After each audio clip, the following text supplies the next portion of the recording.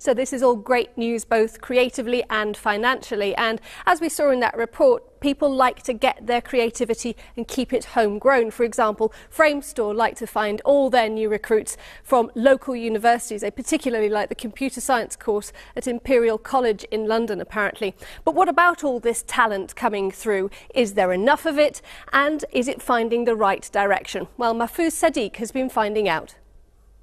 Out there and save the world. Everybody ready to say goodbye to our solar system? We are awed by their gravity defying splendor. We're here. They keep us on the edge of our seats. We create the world of the dream. They bedazzle us.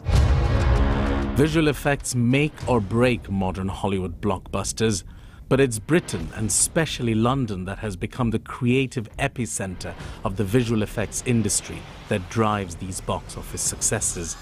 As many as 5,000 professionals work in just the animation and visual effects industry.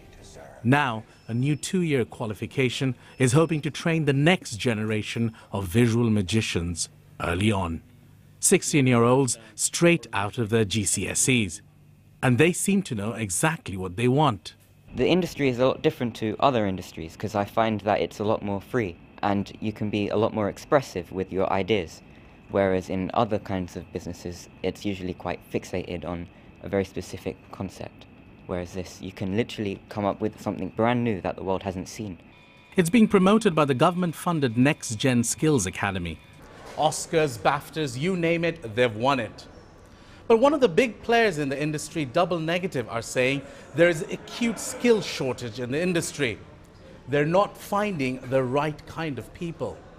They're hoping the new course will change that. It would be great to get as many specialised courses going so that we've got people coming in who are able to hit the ground running and, and know exactly what the requirements are of the industry. Um, in the past, we've had a lot of people coming from artistic backgrounds where they need to learn the software, or people from technical backgrounds who need to learn, learn the artistry. Research from NextGen shows 47% of visual effects companies face a skill shortage. This course is the first step in a, a range of uh, initiatives we're rolling out over the next couple of years to address those skill shortages and make sure that uh, students come through with the right kind of uh, skills and experience. One of the goals of this initiative is to get more young women involved. Of all the applicants this morning, we saw no women though. Mahfuz Sadique, BBC London News.